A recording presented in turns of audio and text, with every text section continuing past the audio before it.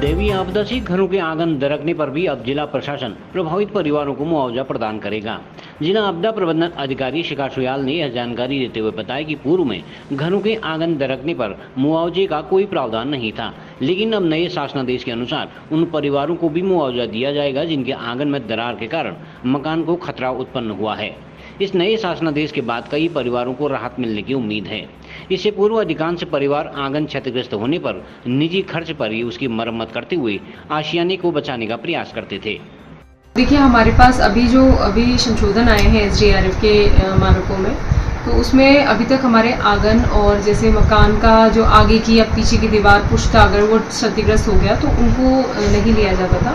But अब हमारे जो मकान ऐसे जिनमें आँगन की आँगन क्षतिग्रस्त हो जाता है या फिर मकान के आगे या पीछे की दीवारें क्षतिग्रस्त हो जाती है पुश्ते क्षतिग्रस्त हो जाते हैं तो उन्हें भी जो है एसडीआरएफ के नॉर्म्स के अनुसार जो हमारी धनराशि है, वो वितरित करने की कार्रवाई की जाएगी। न्यूज़ के लिए ब्यूरो रिपोर्ट बागेश्वर।